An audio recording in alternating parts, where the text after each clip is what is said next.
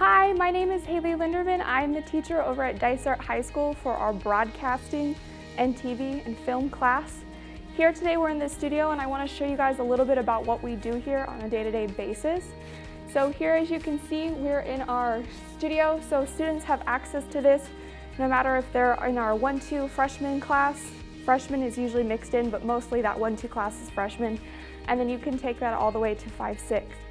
After you've completed those two years, you are allowed to go into an internship program, which actually allows you to work, um, work off campus um, while still receiving credit here. So that's a really cool experience. Some of those are paid, as we call, gig, call them gigs, so that is exciting.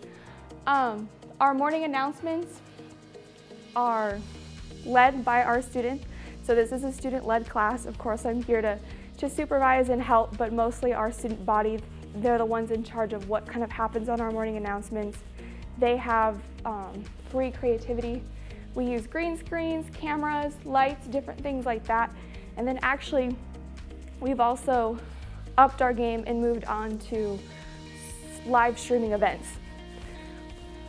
So over here you can see we have our TriCaster set up, what that allows us to do. Um, and by us, I mean our students mostly, again, student-led for the most part, is our students are able to record.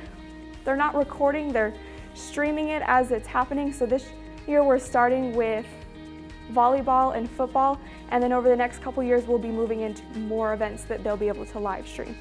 So if you are interested in that, go ahead and talk with your counselors or go to our website to see more.